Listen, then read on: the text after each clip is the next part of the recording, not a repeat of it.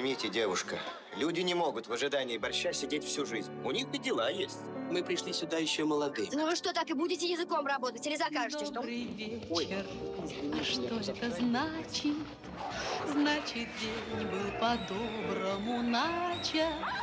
Значит, день был по-доброму. Василий Васильевич! Вот если бы все так работали. Хорошо. Дайте жалобную книгу на телеканале «Мир».